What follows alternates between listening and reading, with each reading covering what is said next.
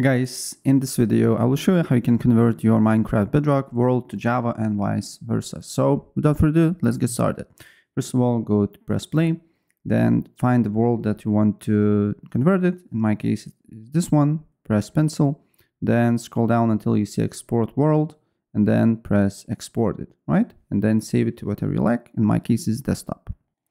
Then download uh, Chunker to your PC. Just go to the browser and then you just need to write chunker.app and download it.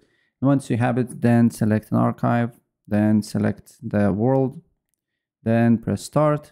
Wait for a couple of seconds, scroll down until you see your Bedrock uh, Java edition. In my case is this one. Then you just need to press convert it, right?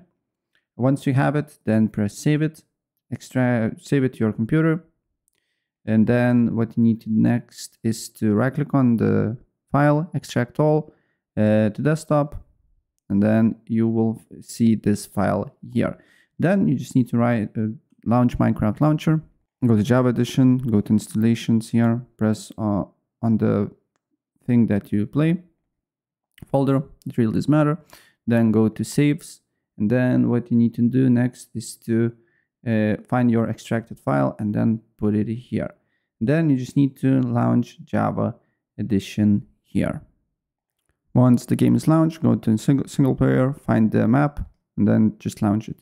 And as you can see here, it's literally the same map. So yeah, that's pretty much it. If I help you out, please press like and subscribe for more. Take care.